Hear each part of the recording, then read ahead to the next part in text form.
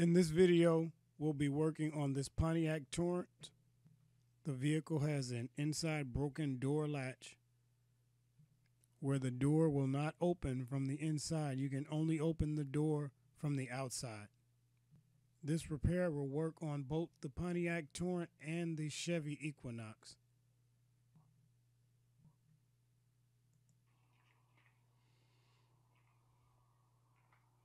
So to do the repair, first of all, we're going to take off this door panel.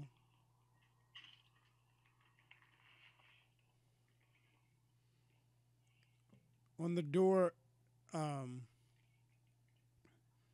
as you can see the hinge it looks like everything is fine. And these are the tools that I'll be using to take off of the um, the door panel. These are door trim tools. You'll find these tools in the linked in the description and as well as all the other items that I use for this repair. And the first thing I'm going to do is there's a screw behind the latch here and this screw has to come out.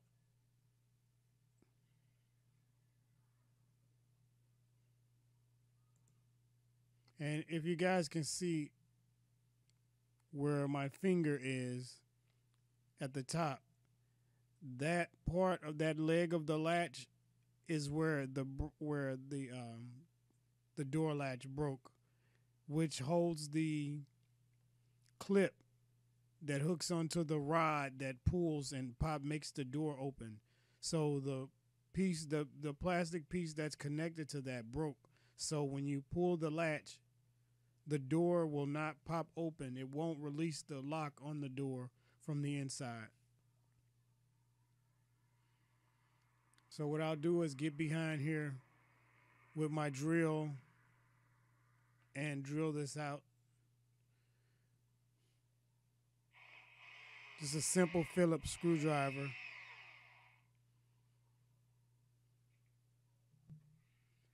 At this point, you simply want to pull on the pull the latch up and just pull on the handle. I mean, on the uh, bezel, and it'll come off.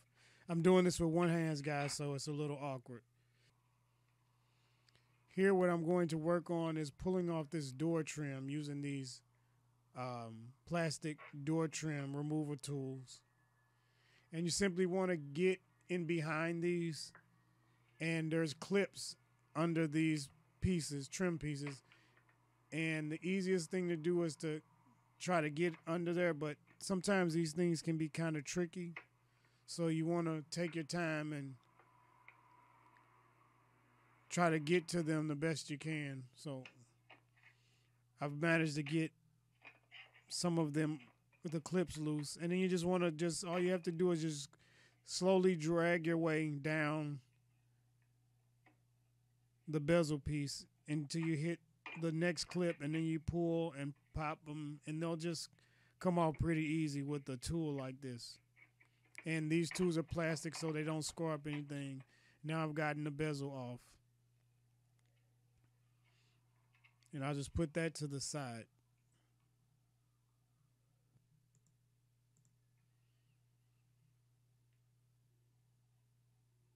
Now you can see inside of here, you have these two um, two bolts.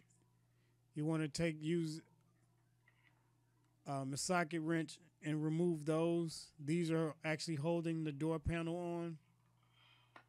So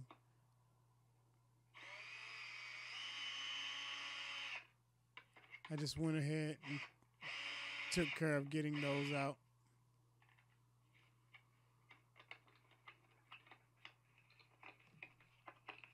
With power tools, guys, this makes this job a lot faster. It's a it's a really simple job, and it's it's a it's a pretty quick job. It's I mean it's a maybe a twenty minutes if you're if you already have the part. It won't it'll it'll be twenty. It's a twenty minute job at max. And I just use a little um, nut setter adapter to remove those.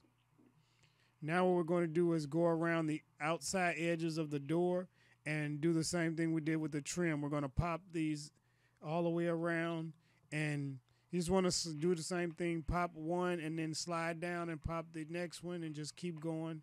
And again, with these tools, it makes this job very easy having the right tools, guys. So they're all in the descriptions, the things that I use and recommend. And just going to keep popping these tabs, and they're all going to pop pretty easy to do. No big deal.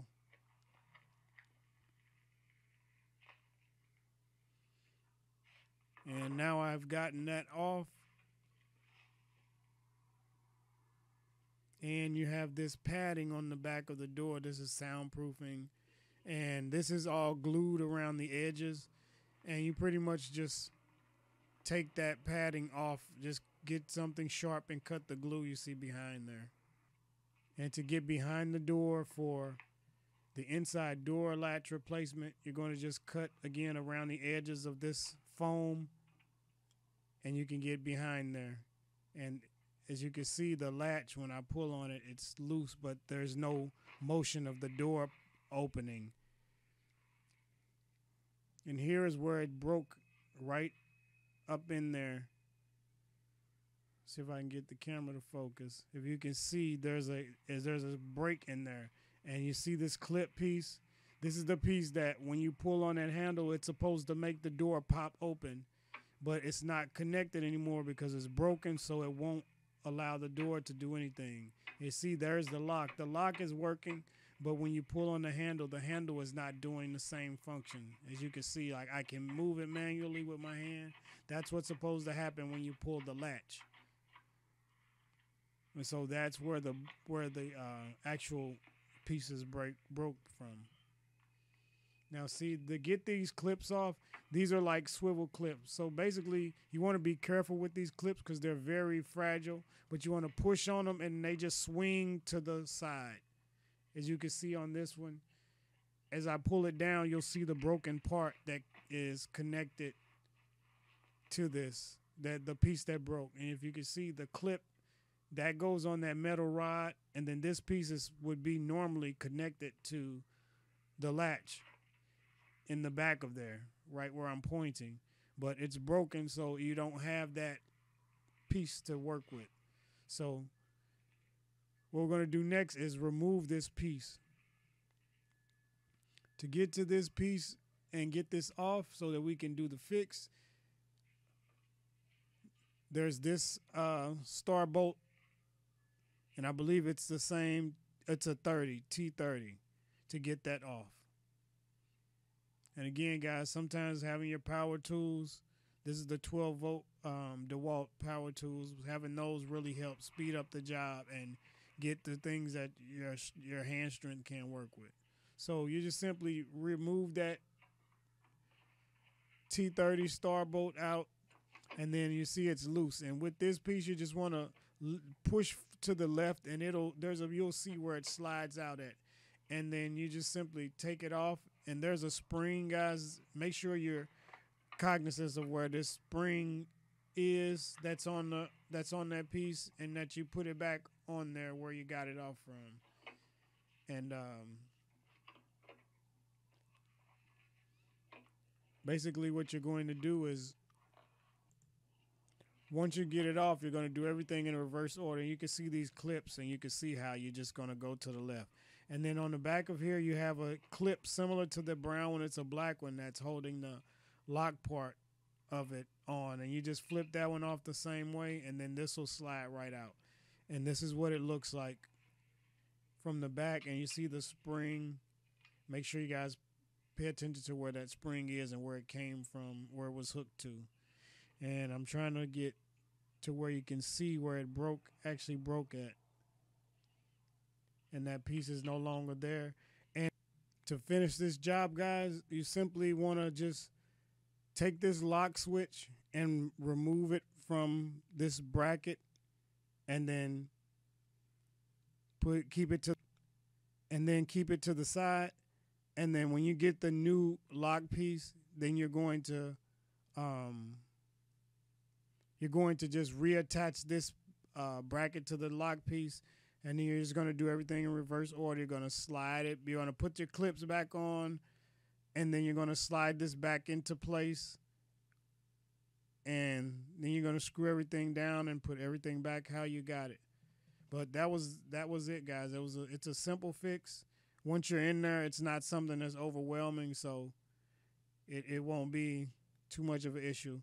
Um, the things I recommend for this repair will be actually in the um, they'll actually be in the description, so you guys can check those things out. And uh, good luck on these repairs. Please subscribe to the channel. I'll have more videos like this and more coming. So thanks for watching.